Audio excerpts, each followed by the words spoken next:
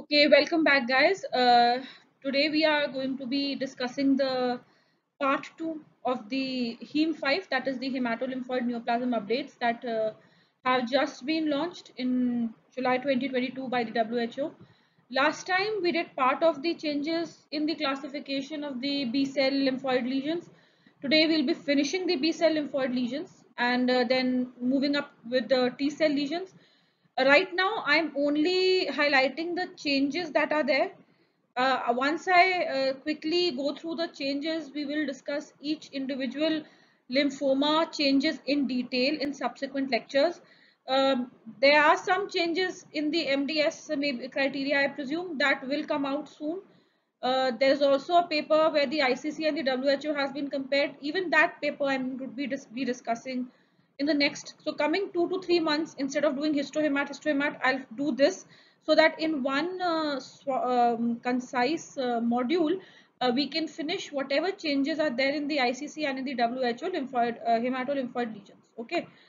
After that again once the changes are there once we know what the set practices are uh, we can then further move ahead and uh, go back to our trend of histohemat histohemat so um, that is the reason I, am taking out time to upload this lecture once every week instead of once every 15 days, which I started doing because this is important. And if I don't do it this way, you will forget what we had discussed before.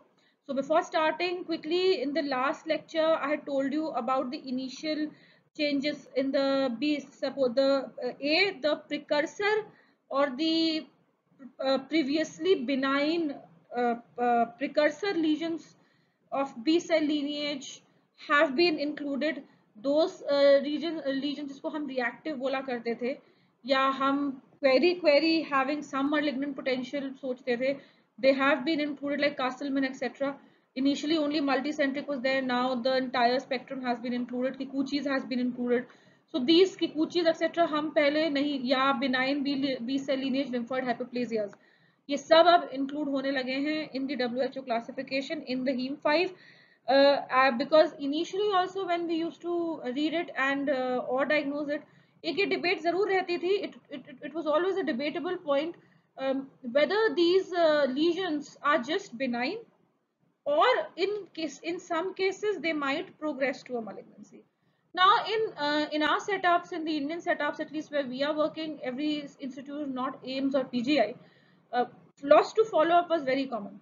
So if we diagnose something as maybe a query-query reactive B-cell transformation, thinking that it might not progress, but uh, maybe after five years, the patient comes with a full-blown lymphoma. Those lesions, after extensive discussion by the WHO team, has now been included as a part of the WHO hematolymphoid neoplasm uh, classification. Then uh, the in the B precursor B cell lesions or the B lymphoblastic leukemias, etc. You've seen that translocation के नाम change हुए. The numbers were removed like KMTA, Compter transfer. So they have removed the number before. BCR ABL1, they have uh, removed 922 before it. Secondly, in uh, where they used to write BS, BCR ABL like, they have added the word features.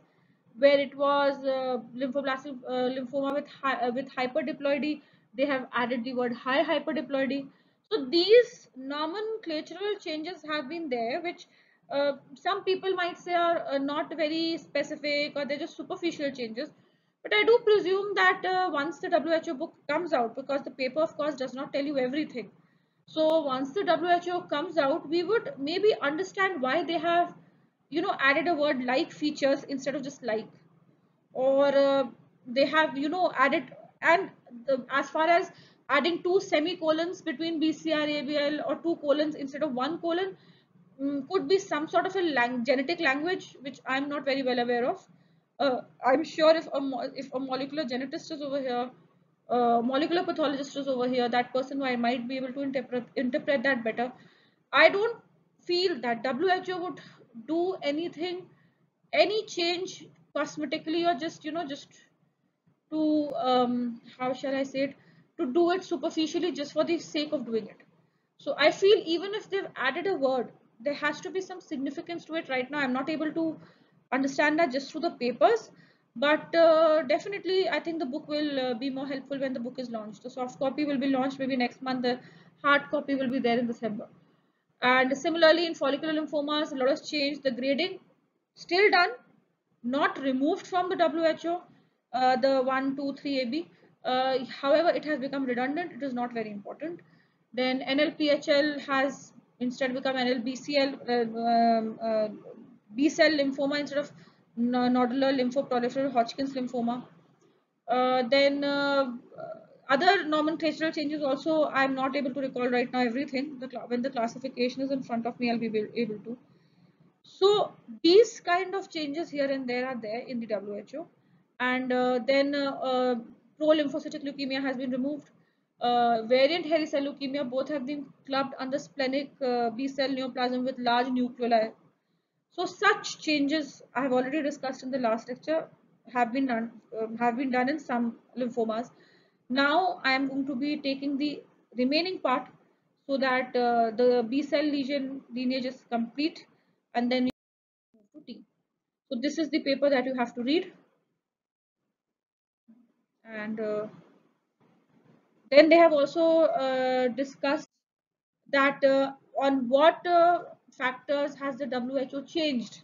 So these were the factors. It is a more pragmatic approach, more molecular testings, and of course, in I have seen in other WHOs also, not only hematolymphoid, uh, they have added essential and desirable criteria. Essential means they have to be there. They are morphological mostly. Desirable are those if they're if they are there then it you know solidifies your diagnosis and they're mostly the molecular diagnosis that is being you know incorporated in now the classifications of both solid and blood tumors. So now if you see the next classification uh, cutaneous i think we've done till follicular the last time. So cutaneous follicle center lymphoma under this entity Primary cutaneous follicle center lymphoma remains the same. It was there before. Mantle cell lymphoma, just like a in situ follicular neoplasm has been added in the lesions of follicular neoplasm category, in situ mantle cell lymphoma has also been added. Mantle cell lymphoma and leukemic non-nodal mantle cell lymphoma were there previously also transformation of indolent B-cell lymphoma. This thing was not there before. Now this entire entity has been added. That an indolent, those recurse transformation जब हम पढ़ते थे, तो now that that was always there in the text but not in the classification. They have added that in the classification. Large B-cell, initially the double hit lymphomas, the MYC BCL2 rearrangement one. Now instead of saying high grade B-cell lymphoma with MYC BCL2 and or BCL6 rearrangement, they have completely removed BCL6. Doesn't matter whether, whether it is there or not. Secondly, now it is called diffuse large B cell lymphoma or high grade B cell lymphoma with MYC and BCL2 rearrangement. Possibly what they saw was not much prognostication could be obtained with BCL6 or even with MYC BCL2 rearrangements. There are some variations in the way the patient is responding so it is not a uniform labeling criteria. That's what they have seen. This is what I've understood from the paper. I'll have to read more. That is why they have removed BCL6. It doesn't matter whether BCL6 is mutated or not. And they have just kept it as a diffuse large B cell lymphoma. Burkitt's like L with 11q aberration has now been removed. it has just become high grade B cell lymphoma with 11q aberration. Morphologically, it resembles Burkitt's a lot there are certain molecular features which match but it is not a it does not have the same response like Burkitt's. The complete molecular profiling is not like Burkitt's. That is why they are not using this term. Then uh, EBV HSV and KSHV8 have come into great limelight in this classification. So Burkitt like uh, sorry EBV positive diffuse large B cell lymphoma NOS has now been just labeled as excuse me EBV positive diffuse large, the NOS has been removed. Okay. Fibrin associated and fluid overload large B cell lymphoma were not there previously and now they have been added in the classification. And uh, primary large B cell lymphoma of immune privileged site. A new entity added especially in sites arising like the, uh, the vitreoretina, the eyes and the testes. These are the immune privileged sites, have good immune, immune cells and lymphoma of that area has been categorized separately. Then mediastinal gray zone lymphoma. Initially, WHO has always tried to remove the word gray zone, but somehow they had to come back to this word where they had initially labeled B cell lymphoma unclassifiable with features between DL, BCL, and Hodgkin's. Actually, we when we used to you know see this, we used to discuss they are nothing. They are gray zone lesions. When you say that feature is in between something, then that something is not defined. Until it is not defined, you call it gray zone. So now WHO has come back to you know to using that word gray zone and calling it mediastinal gray zone lymphomas. Fine. Then next is the Burkitt's. Burkitt's is the same. Then comes the KSHV, HHV8 associated B cell lymphomas. Here, KSHV, the primary acute lymphoma has been there for ages now. KSHV, HHV8 positive diffuse large B cell lymphoma was initially known as only HHV8 NOS. Then, see, I told you now the KSHV slash HHV8 has come in big time. So, wherever you used to see just HHV8 has now become KSHV, HHV8 and uh, instead of lymphoprolif uh, uh, sorry that instead of comes further so the word KSHV has been added in germinotropic lymphoproliferative disorders. Now we used to study the post-transplant lymphomas and we used to study the role of immunity in those post-transplant lymphomas. Now what they have done is lymphoid proliferation in lymphomas associated with immune deficiencies and dysregulation. New entity has come up where not only the deficiency but the dysregulation of the immunity leading to lymphomas is also being you know calculated and added. So hyperplasias arising in immune deficiency dysregulation were not included previously. Polymorphic lymphoproliferative disorders arising in immune deficiency slash dysregulation. So these were the, the those those post transplant polymorphic lymphomas now they have come under the umbrella of immune dysregulation EBV positive mucocutaneous ulcers, lymphomas arising in general immune deficiency, and another lesion. Instead of calling it a primary immune deficiency lymphoma, they're calling it inborn error of immunity associated lymphoid proliferations. Reading out all these, I can just tell you, concentrate on the etiology. Most of the lymphoma, the names have been changed as per the etiology. HHV8 has been made KSHV. EBV has come out big with it being it had come out in the 4 also. हम जब PTLDs पढ़ते थे the role of immunity was described in the pathogenesis. Now they have reversed the thing.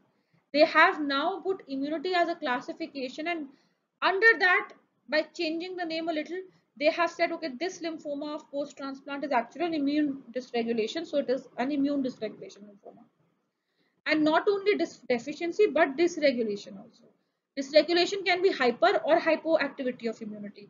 Deficiency normally is only hypoactivity of immunity. So both the things have been added. Okay. Hodgkin's lymphoma are mostly same. Cold agglutinin disease has been added, was not there previously. And MGRS, monoclonal gammopathy of renal significance. Clinicians used to use this term. We never used it. Now we are going to use it. Then Instead of primary amyloidosis, they have defined as that immunoglobulin related AL amyloidosis, monoclonal immunoglobulin deposition disease. Instead of calling it LCDDD, light chain deposition LCDD, we have no, now called it monoclonal immunoglobulin deposition. And then a new entity uh, uh, in the syndromes you knew, poems and tempi have been there for there before. Then adenopathies and erythemic patches over the plasma plasmacytoma. This is AESOP that there are adenopathies and skin patches over the lesion where the plasma plasmacytoma is. This entity has been added in the new WHO. So this is for the B cell. Quickly I finished it in 15 minutes. This I had taken before. That lymphoma mimics in, uh, included to help differentiate from lymphoma then ETV6, RUNX1, BL, BLL added again those nomenclatures have been changed. BBLL removed. CLL only essential for markers have been defined. Transformation associated lymphomic term ban gaya. Splenic B cell lymphoma with prominent nucleoli, atypical HCL as well as prolymphocytic leukemia. Then non-Waldenstrom type LPL has been defined and follicle has become classical and uncommon type. Grading is redundant. FL grade 3B is follicular large B cell lymphoma. DLBCL is still germinal center type and activated B cell. However, it is redundant not removed. So you can classify it but the clinician won't have any benefit from it. It is for you as, as a pathologist to do it. Double hit word has been removed instead. The mutations have been verbatimly used. BCL6 is now no longer part of the hits then Burkitt's lymphoma with 11q that name has been changed to high grade B cell lymphoma 11q17 mutation then uh, immune privileged site lymphoma like vitreoretinal DLBCLs and testicular DLBCLs have been added into that. Mediastinal Gray zone lymphomas have been introduced. Burkitt's, initially we know that EBV kiya jata hai, but now they have stressed on it and made it a classification. And classical Hodgkin's lymphoma, uh, uh, the course the subtyping is now redundant like NLPHL अब NLPHL नहीं कहा जा रहा है B cell lymphoma कहा जा रहा है so, but we do it. You want to, you can do it. It is redundant, not removed. This one we'll discuss uh, later on. And so that's it for today.